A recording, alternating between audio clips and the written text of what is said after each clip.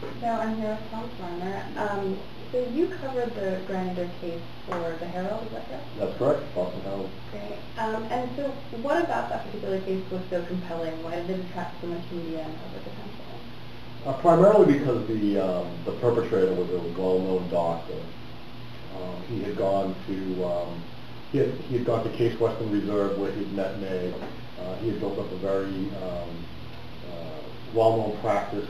He was uh, very adept at um, childhood asthma. That was his specialty. So he's very well known in the medical community. Very well known in his community. Um, and had raised uh, three accomplished children as well. He and May had.